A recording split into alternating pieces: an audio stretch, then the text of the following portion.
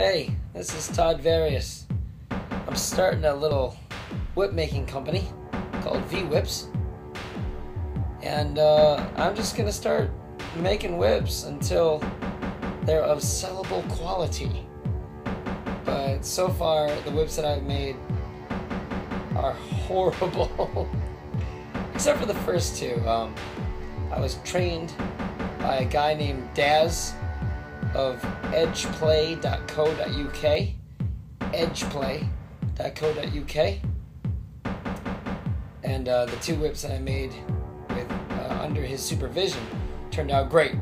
I've not yet been able to reproduce that yet, but I'm still working on it.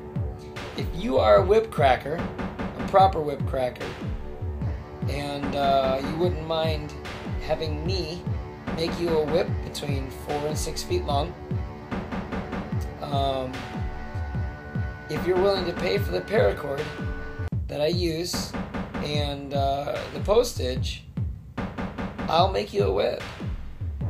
And I want you to review the whip. Tell me what's good about it. Tell me what's bad about it. You know, tell me how it could improve.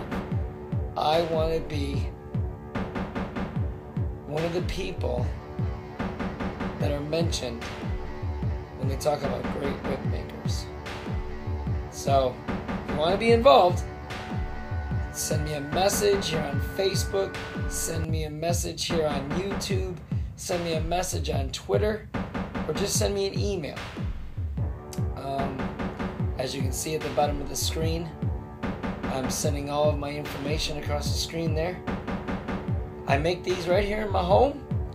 It's winter time in Scotland. Doing street shows is pretty rare. So this is what I'm doing with the winter time. Thanks for watching. Thanks for tuning in. And if I'm making a whip for you, send me a message. Cheers.